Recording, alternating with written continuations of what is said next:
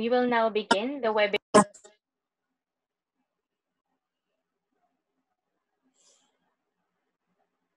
Thereafter by a morning prayer to be led by Mr. Gerald Calderon.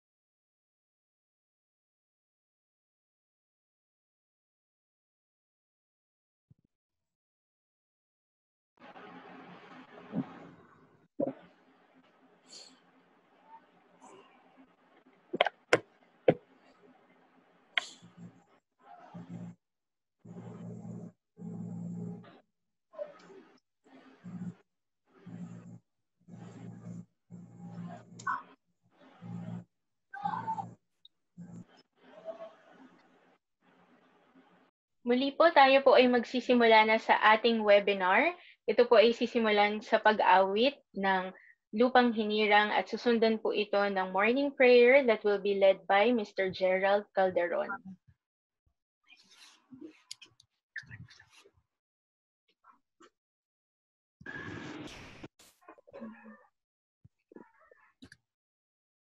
Mga kababayan, ang pambansang awit ng Pilipinas.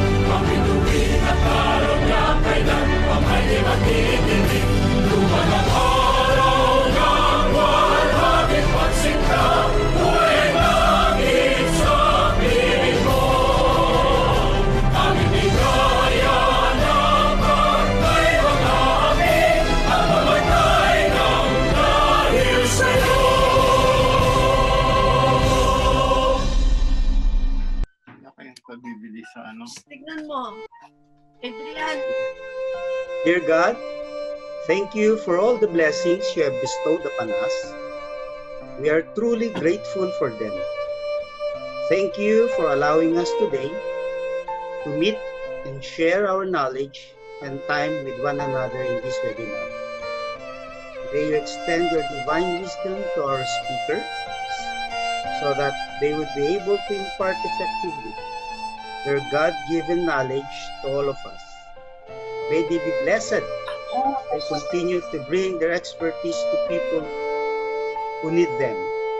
Bless the participants as well so that they would be able to glean the vital information from this activity.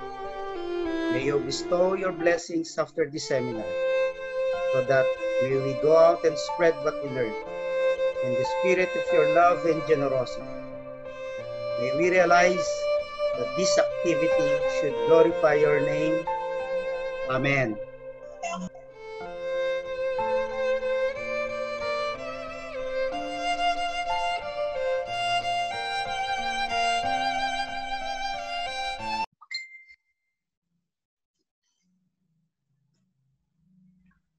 Magandang umaga po muli sa inyong lahat.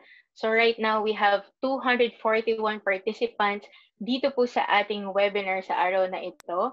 And to formally open our consumer care webinar series, I think this is our fourth or fifth run.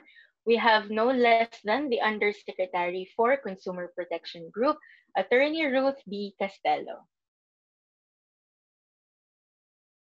Okay, thank you Joyce. Good morning everyone. Magandang umaga po sa lahat ng mga workers sa barbershops and beauty salons, lahat ng may mga may-ari ng mga salons at lahat ng mga gusto na na magsalon. Morning.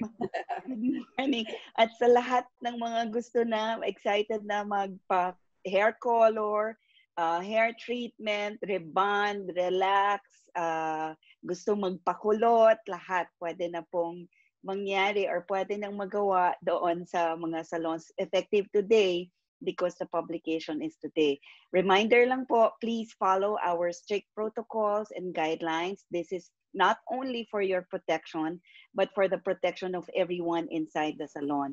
So wag po tayong sanang magre-request ng mga lampas doon sa mga protocols and guidelines na pinapasunod ng mga salon or parlor na pinupuntahan nyo kasi ang application po nito is with a both with the big and the small uh, salon or parlor. Kasi nung lumaki po ako, parlor lang yan. Ngayon, salon na siya. So, wag po tayong hihingi ng sobra uh, or ng kulang doon sa mga kailangan nating ipatupad. And let's not take it against them if they they follow that. Just reminder, sa MGCQ pa po yung mga other hair services. So now in in GCQ areas, lahat lang po ng buhok. Bu- buhok sa ulo, hindi po any other part of the body but only hair on the head. And uh, second, yung, yung purchase limit, I think that's going to be the first topic for discussion, no? Yung lifting ng purchase limits po, they will, uh, the Consumer Policy and Advocacy Bureau will discuss that with you para maintindihan nyo kung bakit tayo may mga niretain pa na ilang produkto doon sa listahan ng purchase limit.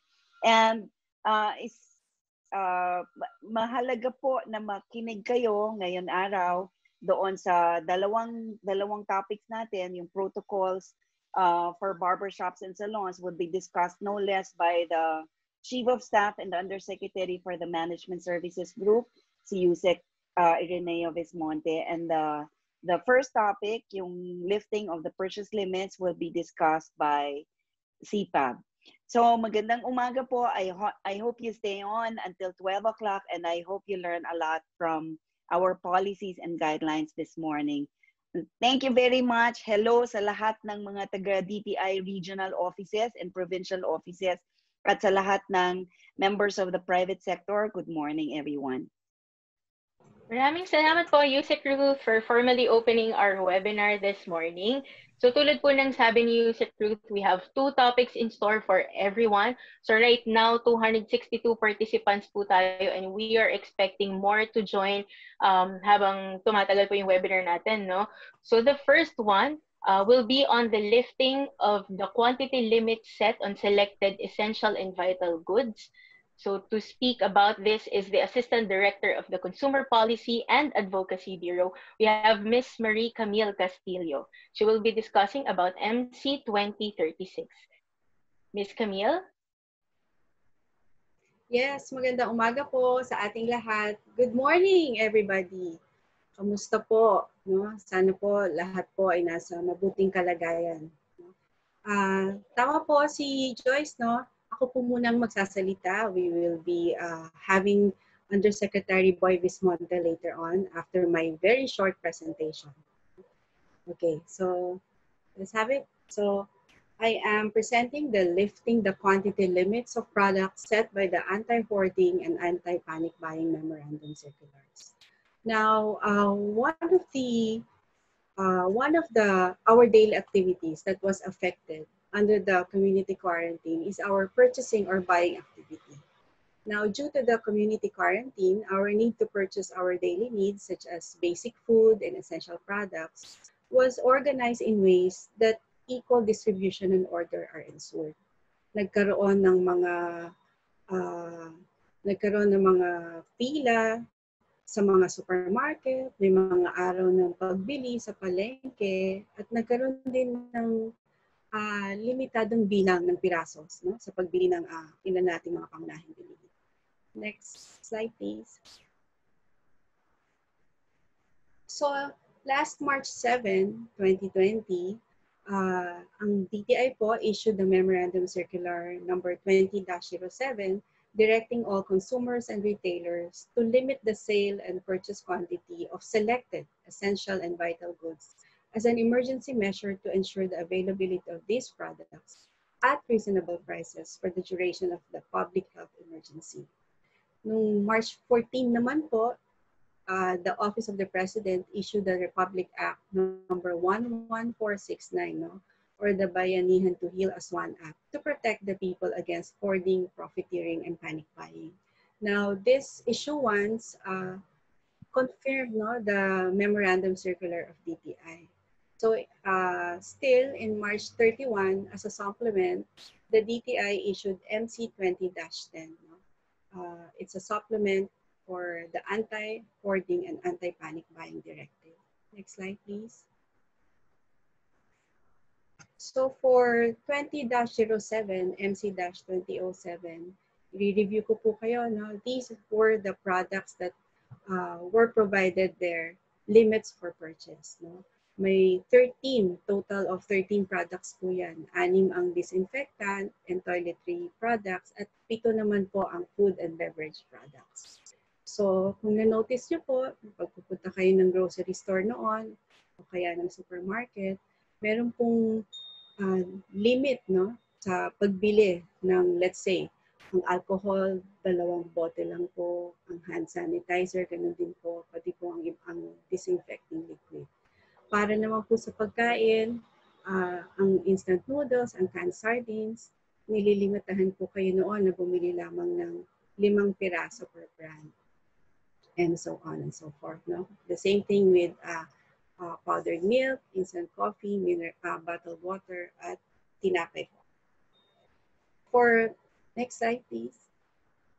For MC-20, uh, for MC 20- 10, meron po namang 12 products na dinagdag. No? Lima po ang disinfectant and personal hygiene product at pito naman po ang food products. No? Andyan po ang ating detergent soap na powder or bar, toothpaste, mouthwash. At for our food products, uh, pito po ang nadagdag. Andyan po ang canned pork, canned beef, cooking oil, soy sauce, vinegar, fish sauce, at dried fish. So ito po yung mga produktong uh, nasa ilalim po, no? iba po nasa ilalim ng basic necessities at prime commodities. At uh, sa tulong din po ng Department of Health, uh, nagkaroon din po tayo ng limitasyon sa pagbili ng ilang medical essential products. Now, next page, please. Uh, next slide, please. So after 107 days po na uh, having purchase limits, no? the uh, the DTI issued MC 20-36 last June 22, 2020. So the, the DTI MC 20-36 lifts the quantity limits set on the sale and purchase of some essential and vital products covered by MC 20-07 and MC 20-10. So, tinanggal na po, tinanggal na po yung purchase limits no para sa halos lahat ng produktong nakalista doon sa dalawang memorandum circular. Now, bakit po natin to ginawa? Uh, we have several bases for that. Firstly, the manufacturers of some of the covered products assured the DTI that there is sufficient supply, which are enough to meet the consumer demand during the community quarantine, no? during the coming days. And uh, every week po, kausap natin ang mga manufacturers at and they give they gave us their inventory levels. No? Now, secondly, the regular monitoring activities of the DTI supported the claim of the manufacturers. Uh, ang FTE po or Fair Trade Enforcement Bureau at ang ating po mga regional and provincial offices nagmo-monitor po yan regularly. And uh, every week po yan everyday pa nga po from Monday to Thursday. And sila po, kinonfirm po nila that there, there are enough supply, no? confirming what the manufacturers are claiming. And ang pangatlo pong reason, the recurrence of hoarding by businesses and panic buying by consumers is no longer a threat.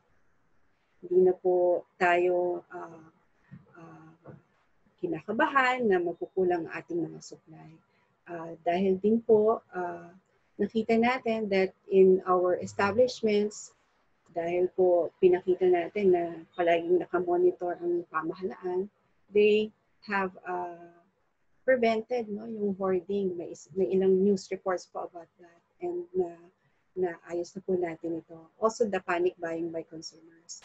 Naintindihan po natin na hindi naman kailangan dapat na ang dami-dami natin binibili we must learn how to share no so that others can also purchase their needs. Hindi lang po tayo ang namimili, marami po ang namimili. And naintindihan na, na naintindihan na po natin yun. And lastly, there's a need to invigorate and restore economic activities and allow businesses a fair return of investment while balancing the health. So, ito po uh, sa pag-lift po ng ating quantity limits no ng para sa ating mga uh, basic goods uh, kailangan po nating tulungan din ng ating mga negosyo ang uh, ating mga manufacturers at retailers na makabalik no, sa pag uh, negosyo at makapag-serbisyo para sa ating mga consumers. Next slide, please. Okay. So, because of MC uh, MC 20-36, the purchase limits for the products under 20-07 and 20-10 no, are, were lifted. Okay, so yung nasa left niyo po, yung MC dash, uh, MC 20-07, ito po yung mga produktong nagkaroon ng limits. Tapos pagdating po ng 20-10, ito naman din po yung mga produktong nagkaroon din ng limits. Ngayon po, wala na po siyang quantity limit sa pagbili from the grocery stores or supermarkets or the wet markets. So, maari na po tayong bumili ng mga produktong to na wala pong uh, limit, na wala pong bilang. No? Hindi po tayo pipigilan uh, ng ating mga establishments na pagbili, no? sa pagbili ng ilang, sorry, ng ilang uh, bilang ng produktong mga Okay. However, no, next slide please. Nagtira po tayo ng ilang mga produkto. Uh, apat po. Yung pong medical essentials na nakalista rin po sa previous memorandum circular. Uh, we are maintaining the quantity limit for purchase of disinfecting alcohol, hand sanitizer, disinfecting liquid, and face mask. For the alcohol, you are allowed to buy five bottles for sizes one liter and below, and three bottles for sizes more than one liter. For the sanitizer, it's the same thing. You are allowed to buy five bottles for sizes one liter and below, and three bottles for sizes more than one liter. I am reading them not to emphasize. No? And then for the disinfecting liquid, no, yung pang, mga panglinis natin, five bottles again for sizes one liter and below, and three bottles for sizes more than one liter. And lastly, for the face masks, no, for N95 and N88, no, you are allowed to buy one box of 50 pieces. Yun po yung maximum. All right, next slide, please. So these are our QR codes for uh, the copy of the memorandum circular on your left and for the copy of other DTI issuances on your right. So thank you very much for listening. Thank you very much, AD Camille. Mm-hmm. So again po, no, uh, natutunan natin na MC20-36 already lifts the mm-hmm. purchase limit, sale and purchase limit na nakaset po sa mga produkto covered by our previous issuances on anti-hoarding and anti-panic buying, with the exception of hand sanitizers, disinfecting liquid, N95 and N N88 face masks. So yun po yung tatandaan natin lahat. That's already in effect now. Uh, ngayon po, I'm trying to check um, the chat box. No? So maybe while waiting for Yusek Boy, we can address some of the questions here, Ms. Camille. Yes, so we yes. have a query from BTI Bukidnon. Sabi po dito, if there is an LGU which adopted MC20-07 and MC- and MC20-10 through an ordinance, what shall be our advice to such LGU? Mm -hmm. ang palagi pong sinasabi ni Secretary at ni Undersecretary uh, Ruth Castello, ang memorandum circular po ng DTI ay for implementation siya nationwide. Uh, yun po ang uh, top policy po natin na dapat sundin. No? Uh, kapag meron pong ganong arrangement, ang L, isa pong LGU, ang isang probinsya or syudad, maari pong please uh, inform us so we can discuss this with uh, the, uh, the DILG and uh, asin po natin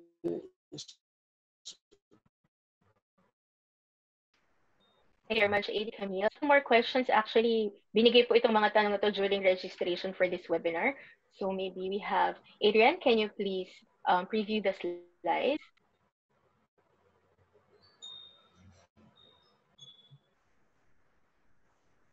So while waiting for the while wait, yeah, while we're waiting, may I just request po yung ating mga supermarkets and uh, grocery stores, yung uh, kung maari po sana we'll post a notice on the limits for the four remaining products po, no? Sana po para po for the information, proper information of our consumers. Alam niyo po, mas ang mga consumers naman po madaling makaintindi especially when they see, no, when they see an advisory or notice na, ay, ito, ito, ito po pala ang limit, no, ng pagbili, let's say, ng face mask or ng disinfecting liquid, etc. So sana po maglagay tayo ng notice about MC 20-36. All right. Okay, so we have the second question here. Is there an exception for sari-sari store owners on buying products from retail stores or supermarkets pursuant to the MC on the lifting of purchase quantity limit. So exempted daw po ba ang sari-sari stores?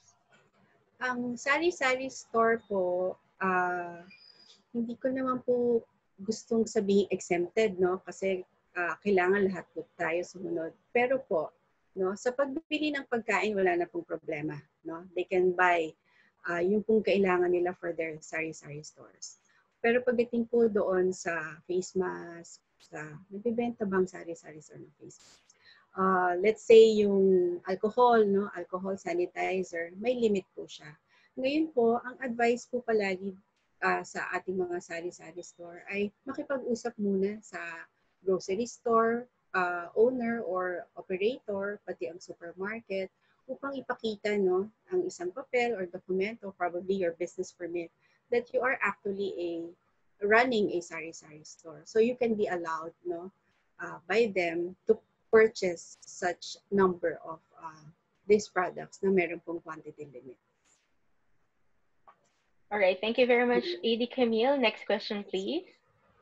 Can groceries continue to limit quantity of purchases for goods despite the lifting of restrictions?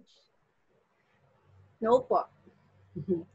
uh, you have uh, grocery stores and supermarkets have to follow the memorandum circular, but there are still restrictions no, on the four products, essential products that we mentioned. Again, the sanitizer, alcohol, mask, and disinfecting liquid.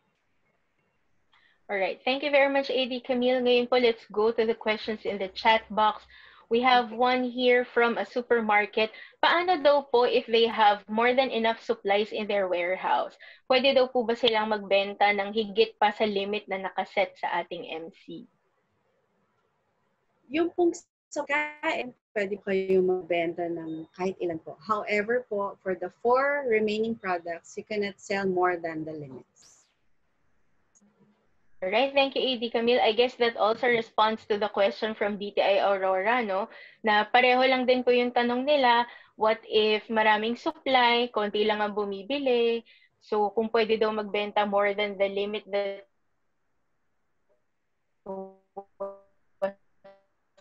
set in the MC ito sa ATM po dun sa lifting, ay kailangan kong sundin pa rin yung quantity limit set. Alright, I guess yan lang po yung mga katanungan natin for this particular MC.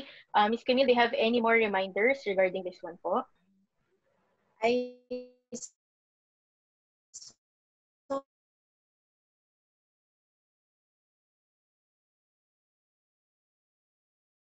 ko kayo on example more pictures of face mask. Ah, alam niyo po ang manufacturer or guma- nagdi-distribute ng face mask, mayroon po yung accreditation from DOH. You can request from their list of manufacturers and distributors.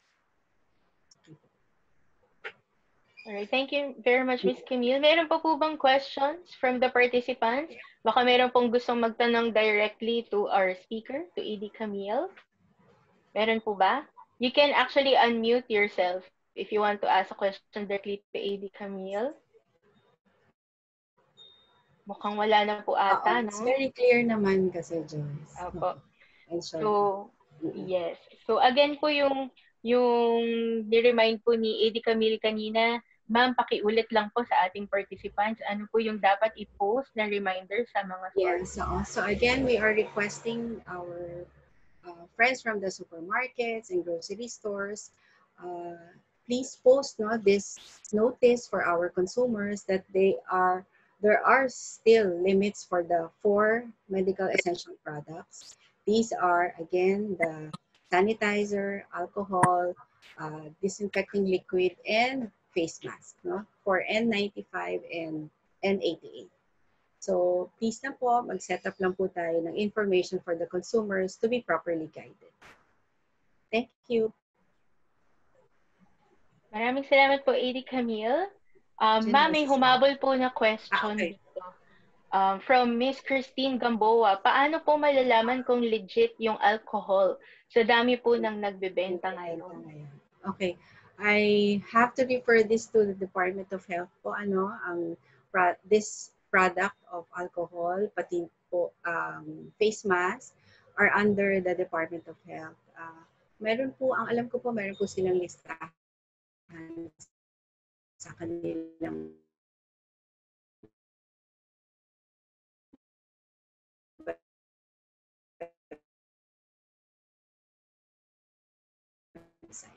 chat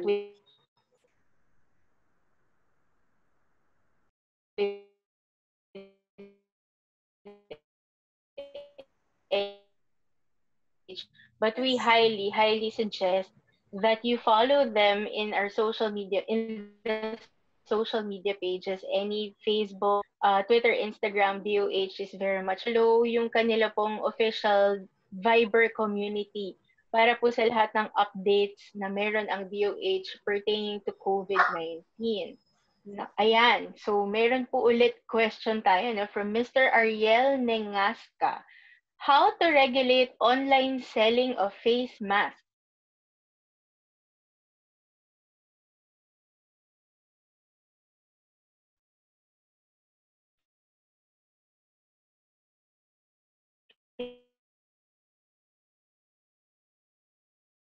DTI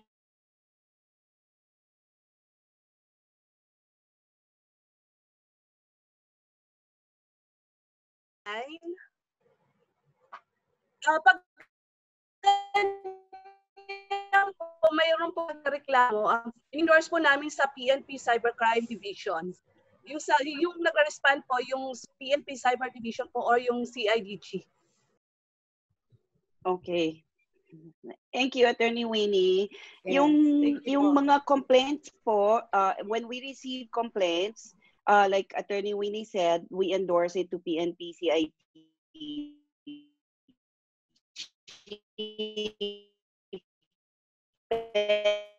Pero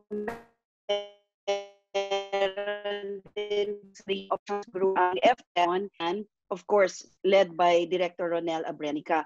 Pero uh, like we always say, if if if home po natin, um, maybe around 2,000 of them kasi yung 500 kung naka-frontline kami or nag-opisina or maraming ibang tasks. Yung mga naka-work from home po, Secretary Lopez made it part of their pa news that we have uh, through the help of PNP and NBI, we have confiscated a total value of 100 million pesos worth of masks, alcohol, hand sanitizers that were illegally sold online. So ito po yun, uh, we have more than 500 arrests and now pending cases filed by the Department of Justice Prosecutor's Office. So ito po yung mga kaso na yan. That's why we also keep warning people na wag na silang mag-attempt uh, na magbenta online ng overpriced because we have prices from the Department of Health. Meron po silang suggested retail price bulletin dito and anything sold higher than that, uh, hinuhuli po yan ng PNP and NBI for anti for the profiteering and anti-hoarding laws natin. Thank you very much, Yusek Ruth. Thank you very much, AD Camille and Attorney Winnie from FDEB for responding to, to that question. Ngayon po, we actually have here na po ang ating next speaker who will discuss about the minimum health protocol sa mga barbershops and salons. So yung mga nagtatanong na po sa ating chat box tungkol dito sa ating next topic, hintay lamang po tayo after po ng kanyang Services Group, we have Undersecretary Irineo Vismonte. Yusek Boy, good morning. Si Yusek Boy, nasa kotse. Yusek? Naku, Yusek Ruth, baka kasi a-attend po ng meeting ang ating COS. I know, I know. Pero pinagbigyan lang po tayo ngayong umaga. He's mobile. Alam ko may meeting siya ng 10 to 10, thir- ah, 10.30 to 11. Kaya 11 siya talaga. So Um, good morning, good morning everyone. Good morning, Yusek Boy. salita- Morning, sir. na- Nakamute pala ako, salita ako ng salita. Anyway, yes, Yusek. Game. Okay. So uh, good morning everyone. Uh, uh, sorry for the delay. I uh, nadinig ko pa yung mga huling uh, statements ni Yusek Ruth. So uh, essentially, we're, this uh, topic is about uh, again salons, uh, barbershops operation. So kahapon tinatanong ako ni Sito Beltran, ano ba pakialam ng DTI sa salon and barbershop? Ah, sabi ko eh dahilan nito na ang DTI sa kagustuhang makapagbigay ng trabaho at negosyo ah, dahil ito pong mga hanap buhay na ito ay ah, intended pa sa category 4 meaning under GCQ dapat hindi pa po sila binubuksan. But because of the strong representation of the secretary we were able to convince the uh, IATF to open to reopen these businesses including dine-in restaurant so bago po natin na convince we were able to show to uh, the chief implementer si uh, uh, Secretary Galvez paano natin uh, gagawin yung pag-implement ng health protocols. So ito po ngayon uh, papakita natin ano? To start with uh, next slide please uh, gusto po natin na pa- paalalahan na ng lahat malinaw ba yan okay that uh, mahalaga Yes, sir. po that uh, during this uh, period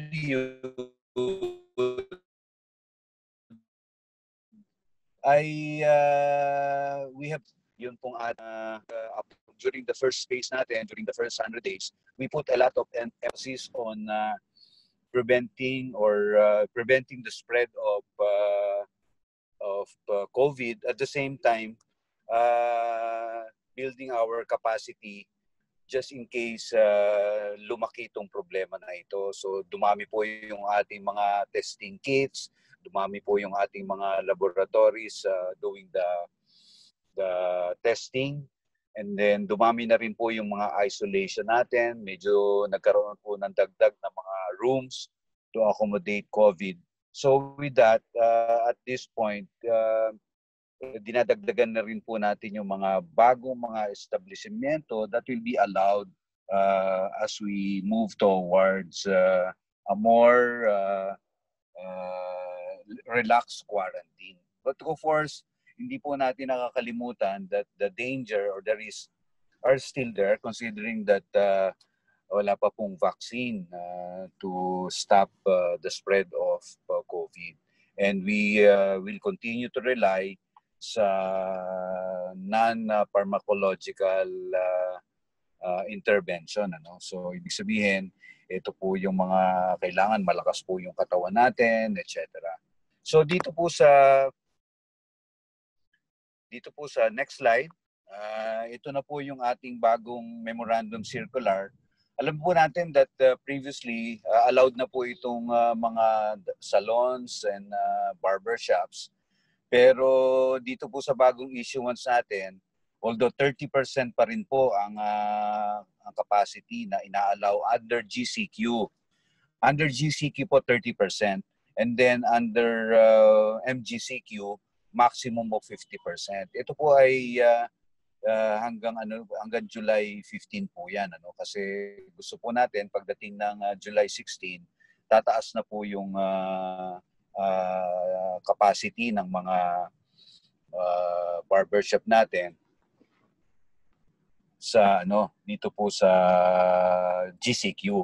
So yan po 30% ang uh, hanggang July 15 and then under MGCQ uh, 50%. And then pagdating po ng 16 July, ito pong GCQ magiging 50% na and then uh, sa MGCQ naman magiging 75%. Ngayon, sa ngayon po, uh, nung mga nakaraang araw, ang pinapayagan lang po natin ay gupit. That uh, sa ngayon po ay pwede na rin po all other treatments, all other hair treatments. Pinapayagan na po sa GCQ. At uh, uh, andali ah. Okay, so uh, doon naman po sa pagdating po natin sa ano sa sa GC uh, MGCQ uh, allowed na po yung mga lahat ng hair cutting and hair treatment services allowed na rin po ang nail care services at iba pa pong mga services, uh, personal care, basic personal care services. Uh, yun lang pong ino-offer natin sa salons and barbershops. Ano? Kasi baka mamaya meron pong mga, ito namang aking uh, negosyo, uh, bar, personal care din ito. Pero actually, ito po ay salons and barbershops lang. Hindi po to hindi po kasama rito yung mga massage o kaya yung mga spa. Pinag-uusapan lang po natin dito ay salons and barbershops. Ano? So yun lang po mga basic personal care services tulad po ng waxing, threading, shaving, foot spa, and hand spa. No? And then uh, basic uh, facial services tulad po ng makeup o kaya facial massage. Yan po ay under MGCQ. And then uh, pag uh, pagdating po ng uh, sa GCQ, pag nag-move po sila sa July 16, assuming uh, ito po ay uh, ang NCR ay under GCQ pa rin, ito po ay uh, uh, papayagan na up to 50%. Okay, next slide.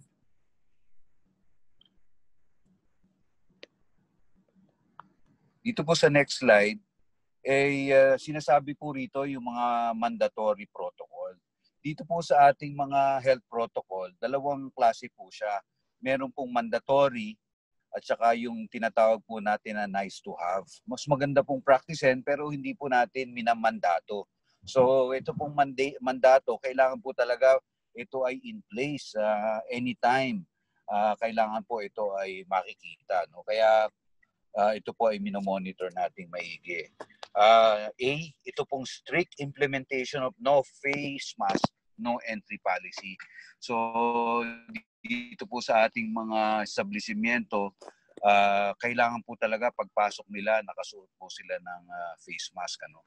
At uh, hindi po daw papapasukin kung wala silang mga face mask. Pangalawa po, kailangan mayroong provision for rubbing alcohol. Uh, that pagpasok po ng mga kliyente, pagpasok po nila, um, pwede pong uh, ilagay ka agad, spray, ng, uh, dun sa mga dumarating na mga tao whether personnel, supplier, o kaya yung mismong customer. And then uh, third,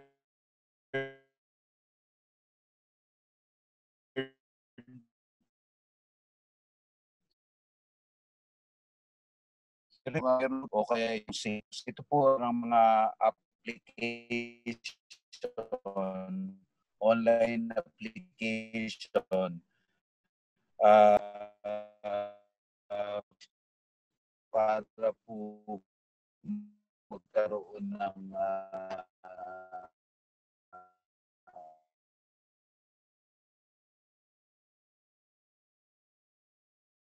gate contact tracing. Dito po, kung wala po tayo ng uh, SIPA, yung SIPA, yung po, etc. So, nakalalan kasi mayroong mga nagre-reklamo ginagamit ito yata sa hindi magandang uh, consideration of that, optional na po yung pangalan, pero mahalaga po na ilagay po natin yung contact number. Kasi kung wala po kayong contact number, wala pong paraan to uh, contact you by the establishment. So again, this is for the reason of contact tracing. The conduct of thermal scanning uh, sa lahat po ng personnel, supplier at mga guests nung pong establishment. Ano? So dito po sa ating guidelines, uh, basta 37.5 po ay uh, uh, beyond 37.5, hindi na po papayagan. Hindi na po natin papayagan makapasok. Next slide. At uh, in relation to that, uh, ito, ito po yung mga example po ng para lang uh, ma- ma-appreciate natin ito pong ginagawa ng mga establishments uh, pag may mga pumapasok. Ito po ay actual na visit ni Secretary Lopez. Uh, kasama po niya si uh, Secretary Galvez. Ano? Uh, okay, next. Para lang po makita natin yung mga samples. Ayan, makita niyo may mga markings, may mga mark, ayan. No? Meron pong uh, uh, foot uh, spa or foot wash. Ano yan? Uh, Yeah. And then uh, may mga ano sila, so po sila ng mga PPE. Okay? Next. Yan. Yan po, meron silang mga nakalagay sa signage sila yung uh, mga kailangan pong uh, parang uh, uh, advice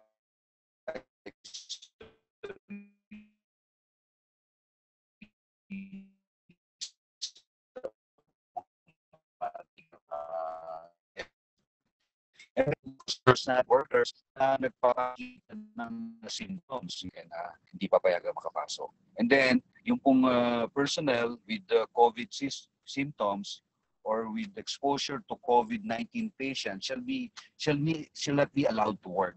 Ito po yung uh, halimbawa kayo po ay uh, meron kayong uh, confirm na may exposure kayo, dapat hindi na po papapasok. And ito po yung mga personnel. So, batay po yan sa DOH guidelines. Ang ibig sabihin po ng exposure ay uh, nagkaroon kayo ng malapitang encounter, 1 meter uh, to a probable or confirmed case for uh, 15 minutes. So pong establishments, uh, merong proper ventilation and exhaust system para makaikot po yung uh, yung uh, air ano? Uh, mahalaga po to marami na pong pag-aaral na ito pong ventilation ay mahalaga uh, to uh, uh, to prevent uh, spread. Uh, yung restroom uh, kaya naman po siguro hindi panahon ng covid uh, ito po ay kasama sa pag-iingat natin ano at uh, sa ngayon lalo pong mas mahalaga na ang mga restroom ay uh, malinis at walang uh, mga accumulation of trash. And then there should be sterilization of equipment or tools and workstation before and after each uh, no each uh, client po no. So ibig sabihin po niyan yung ginamit po nung previous na customer dapat po eh maiging i-sanitize, linisin bago gagamitin sa susunod na kliyente. And then third, hindi po pinapayagan ng uh, mga mga kasama no so as much as possible uh, siguro naman ho uh, kung meron pong medyo kailangan ng alalay, eh, hindi na rin siguro maganda yung panahon ngayon na sila ay pumunta sa barbershops and salon. But kung kinakailangan, uh, uh, pwede naman po. Okay. Next. Meron po tayo, other than the mandatory protocols, ayan, uh, yan po yung mga sistema po no, ng uh, ginagawa nila doon sa current uh, configuration meron pong ine-X na upuan para automatically hindi na po yan gamitin. At uh, yan, yung walang action lang po yun pwedeng gamitin. Next.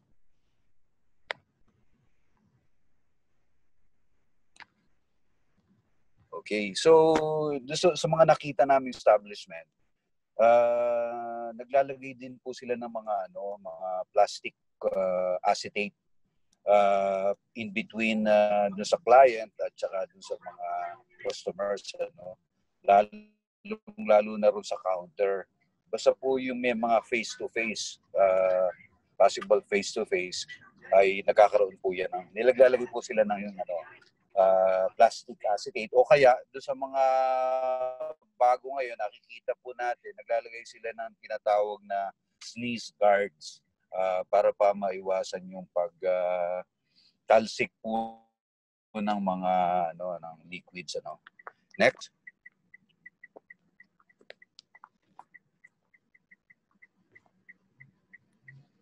Next slide.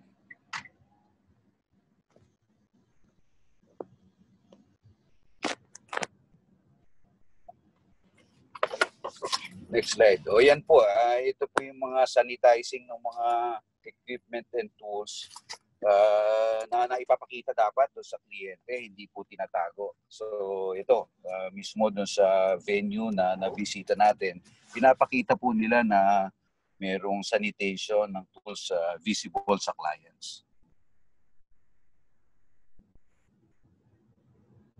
Next. Next slide. Okay. So, ito naman po yung mga sinasabi natin na must have or nice to have. Ano? So, halimbawa po, uh, posting of the following information at the entrance uh, or posted in prominent uh, or conspicuous areas. Uh, yung uh, advisory na no mask, no entry, uh, physical distancing protocol, regular sanitation schedule, maximum number of allowable persons, availability of alternative methods of payment, uh, availability of alternative methods of scheduling appointments. Uh, kung pwede po by appointment, ito po yung maganda talaga. Client personal interaction protocols, enforcement measures in uh, manner consistent with the law for clients who refuse to comply with protocols, and then health declaration forms or registration with SafePass or Stay Safe. Yun po yung ano po yan na sana nice to have na makapag uh, uh, enroll sila sa Stay Safe or Safe Pass. Next. Next slide. Okay, ito rin po, mga nice to have po ito. Enforcement of the following protocols concerning employees. Uh, no wearing of pieces of jewelry, wearing of closed shoes, uh, observance and enforcement of client personal interaction protocols, frequent hand washing and sanitizing, conduct of temperature check after each work shift, wearing of personal protective equipment, but not limited to face mask, uh, face shield, disposable hand gloves, or hair cuffs. Next. Ito po ay mga ano lang, nice to have kasi baka mahirap naman no, pag ginawa nating mandatory lahat. Eh nako, hindi na po makapagbukas sila. No? So gusto rin po natin na sila ay makapagnegosyo. Enforcement of the following protocols concerning equipment found uh, inside the premises, floor mat or foot bath with uh, disinfectant, provision of small trays to customers for payment, uh, pieces of furniture that are made of porous materials uh, to be covered with plastic for ease of sanitation, and then observance of the proper disposal of single-use equipment, personal effects of personnel placed in plastic bags stored in areas inaccessible to clients, face masks, readily available for sale or otherwise to clients, and visible markings on the floor, and unusable chairs for guidance of clients. And then, rin sana natin na ito, mga best practices, placing of the following at the entrance, a system where the personal effects of clients, including bags, jackets, and gadgets, are disinfected uh, and deposited in secured and sanitary plastic bags. Face shields to be distributed to clients if they availed of shampoo services. Next.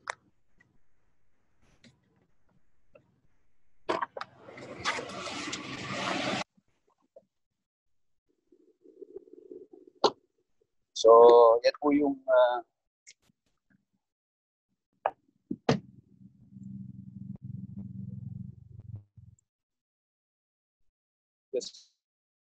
for recapitulate yung mga services po in uh,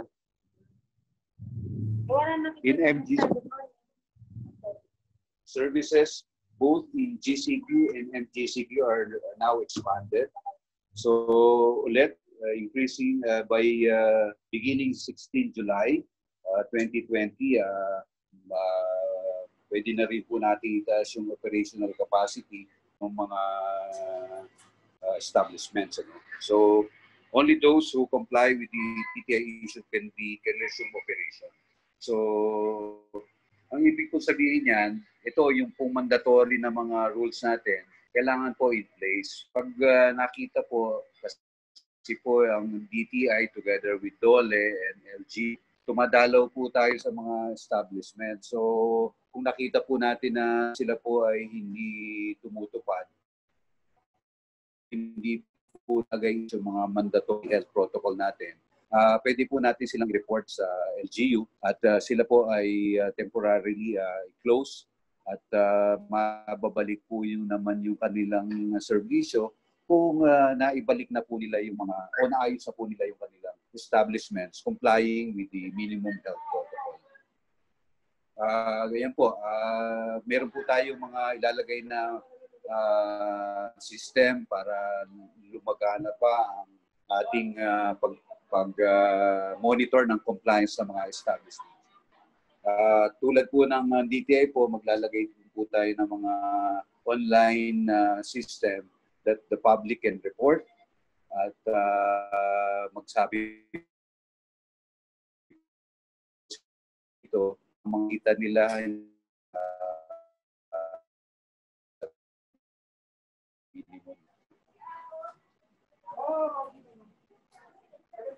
Next, meron pa ba tayong slide?